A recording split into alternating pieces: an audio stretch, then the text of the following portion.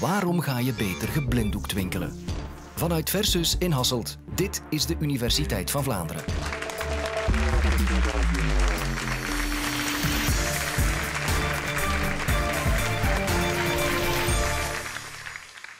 We leven vandaag in een belevenis-economie. Wat houdt dat in? Is dat we eigenlijk massaal als consument op zoek zijn naar memorabele gebeurtenissen, unieke events die ons gaan bijblijven. Um, en we zijn ook bereid om daar best wel wat geld um, voor te betalen. Nu um, is natuurlijk logisch dat vanuit de retail, vanuit de winkelomgevingen, ook retailers gaan zeggen van oké, ik wil mijn klant ook verwennen, ik wil mijn klant ook een unieke uh, gebeurtenis geven, meer dan alleen maar een plek waar je eigenlijk producten gaat kopen. Dus wat gebeurt er dan? De retailers gaan proberen om die gebeurtenis te maken aan de hand van zoveel mogelijk zintuigen te prikkelen. En dan spreken we eigenlijk over een multisensoriële um, ervaring. Nu, je denkt misschien, hoe ontstaat zo'n multisensoriële ervaring? Dat gebeurt doordat onze prikkels binnenkomen via onze zintuigen. Dat is een optelsom en dan krijg je een ervaring.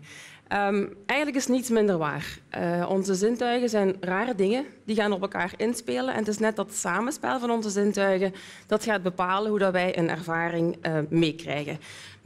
Om dat even toe te lichten en wat uit te leggen, heb ik uh, twee filmpjes meegebracht die eigenlijk al gaan kijken hoe dat onze auditieve uh, prikkel gaat samenwerken met een visuele prikkel. Het eerste filmpje dat ik jullie wil laten zien is een filmpje waarbij we eigenlijk onze zintuigen, en in dit voorbeeld het oog, een stukje gaat bepalen wat dat wij horen. Kijk even mee. Have a look at this. What do you hear? Ba, ba, ba, ba, ba, ba. But look what happens when we change the picture. Ba, ba, ba, ba, ba, ba, ba. And yet, the sound hasn't changed. In every clip, you are only ever hearing ba with a B. Ba, ba. Hebben jullie het effect gemerkt? Iedereen heeft een beetje gezien wat er gebeurt wanneer je inderdaad gaat, kijken naar wat de persoon zegt, gaat het geluid zich aanpassen en dat noemen we het McGurk-effect.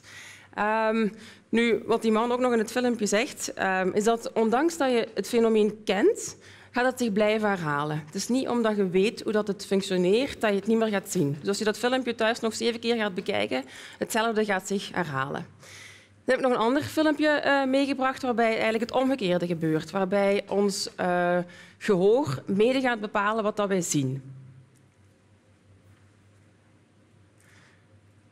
We zien hier twee bolletjes bewegen. En ik denk voor de meesten gaan het bolletje zien kruisen, de twee bolletjes. Klopt dat? Nu gaan we er even geluid aan toevoegen en kijken wat er dan gebeurt.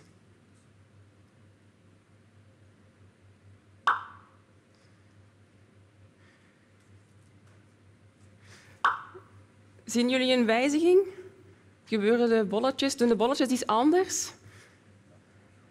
Dus wat gebeurt er wanneer we er geluid aan gaan toevoegen en het, het, geluidje komt bij het bolletje wanneer het bolletje elkaar raken, gaan we in ons hoofd denken dat er een botsing is en gaan de bolletjes uit elkaar. Dus bij de eerste zagen we de bolletjes dit doen. Wanneer er geluid wordt toegevoegd, gaan de meeste mensen uh, de bolletjes uit elkaar um, zien gaan. Goed, dit zijn nu heel eenvoudige voorbeelden van een multisensoriële ervaring. Ik ga eventjes kijken in de realiteit met wat voorbeelden wat er dan eigenlijk nog kan gebeuren. Ik gebruik heel graag het voorbeeld van Tomorrowland. Tomorrowland dankt natuurlijk zijn succes aan het multisensoriële gebeuren wat dat je meekrijgt. Het is een event, het is een uh, muziekfestival, maar er gebeurt veel meer. Hè. Je hebt het feerieke zoals je op de foto ziet. Dus er gebeurt van alles. Het eten wat erbij komt, het slapen, de camping, dat is allemaal op een ander niveau. Zodat je eigenlijk een multisensoriële ervaring krijgt die Tomorrowland uniek maakt en waar ook, geef toe, veel geld voor op tafel leggen om het te um, bezoeken. Nu een ander voorbeeld, meer vanuit de retail, um, verwijs ik graag naar Rituals. Uh, Rituals is eigenlijk een Nederlands merk wat producten verkoopt voor zowel uh, jezelf te verzorgen als je huis te verzorgen. Dus dat gaat van zeep naar cosmetica, tot badjassen, tot geurkaarsen, gelijk hier in de winkel ook ziet. En ook zij als retailer proberen daar heel goed op in te spelen. Van, hè, hoe kan ik nu een multisensoriële ervaring neerzetten? Dus wat doen zij? Ze spelen ehm, bijvoorbeeld lounge-muziek. Uh, de materialen die gekozen zijn, zijn volledig in lijn met het concept.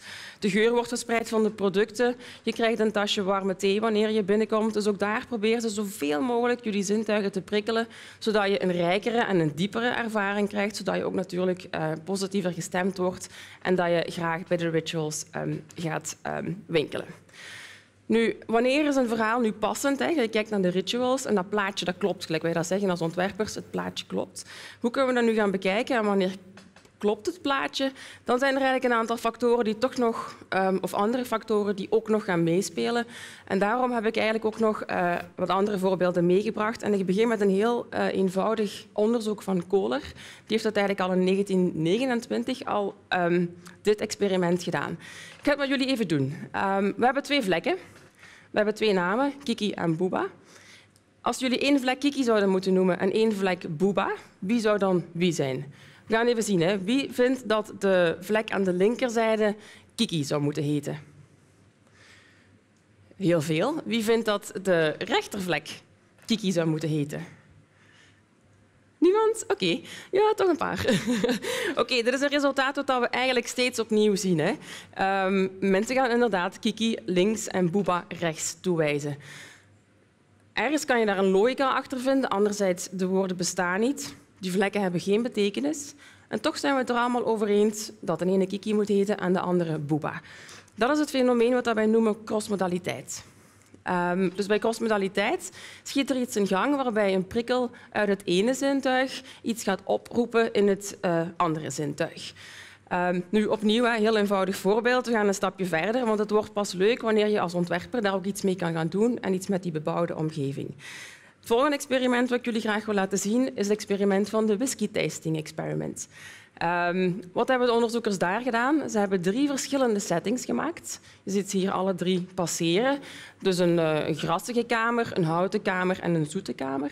En in die kamers hebben ze eigenlijk um, verschillende mensen eenzelfde whisky laten proeven. Dus wat gebeurt er wanneer dat je um, de mensen dezelfde whisky in die kamer laat proeven? Dus wanneer de mensen in de grassige kamer bijvoorbeeld zitten, zien ze dat ze die whisky ook als grassig gaan bestempelen.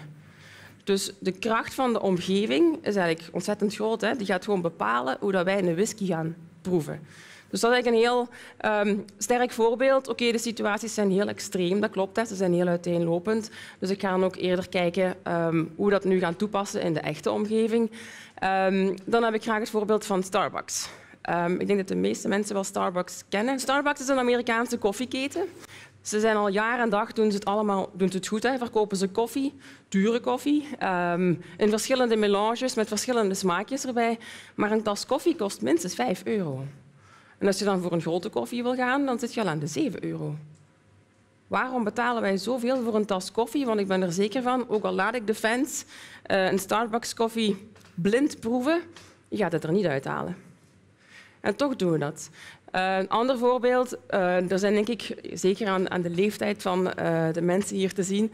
Wie heeft er nog niet met zijn vrienden gezegd, we gaan een bierproefexperiment doen en ik haal mijn Jupiler eruit, ook al doet je mijn ogen toe.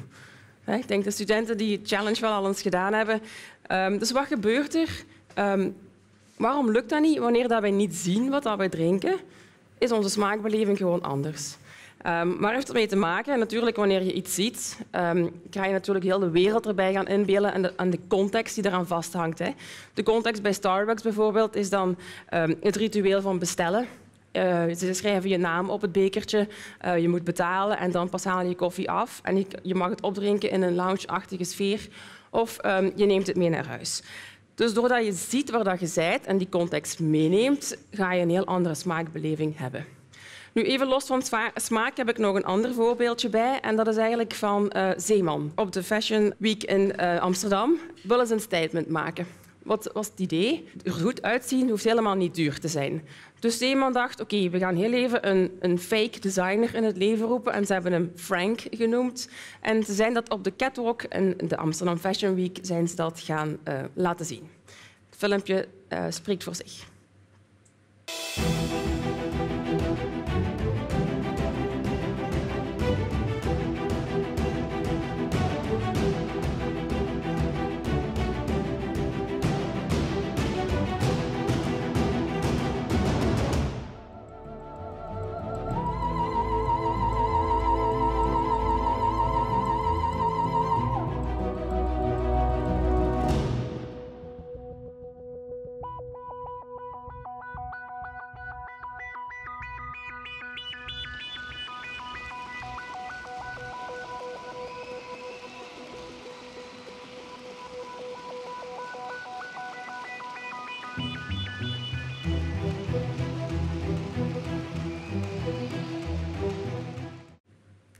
Dus ook hier weer de context waarin je bevindt. Je zit op die Fashion Week. Er is een nieuwe zogezegde designer Frank en iedereen is gewoon mee met het verhaal en niemand heeft door dat er eigenlijk gewoon zeemankleren gedragen worden in die Fashion Week.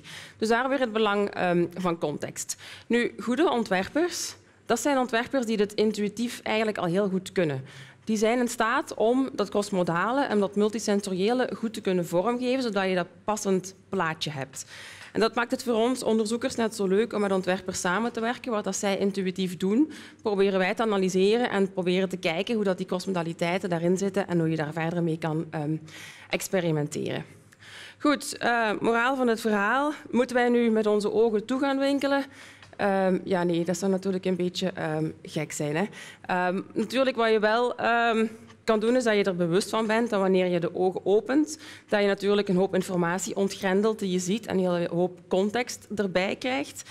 en dat je daar dan gevoelig voor bent en dat je dan natuurlijk ja, open staat voor verleiding en dat de zintuigen op elkaar gaan inspelen.